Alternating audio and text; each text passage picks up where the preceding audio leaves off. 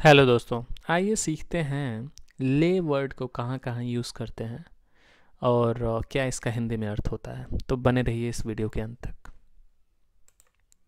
ले ले ले का हिंदी में अर्थ होता है सामान्य जन संबंधी गृहस्थ संबंधी। एक प्रकार का गीत भी होता है जिसको ले बोलते हैं और इसको वर्ब में कहाँ कहाँ यूज़ करते हैं? रखना, लिटाना अंडा देना, पेश करना या मार गिराना। चलिए इसके कुछ एग्जांपल्स देखते हैं। Lay aside your book and go to bed अपनी किताब एक तरफ़ रख दो और सो जाओ।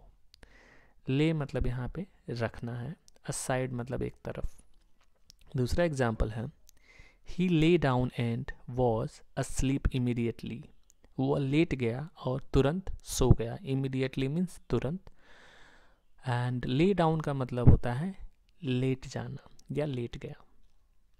तो इस वीडियो में इतना ही। इस वीडियो को लाइक करें और मेरे चैनल पर नए हैं तो चैनल को प्लीज़ सब्सक्राइब करें। Thank you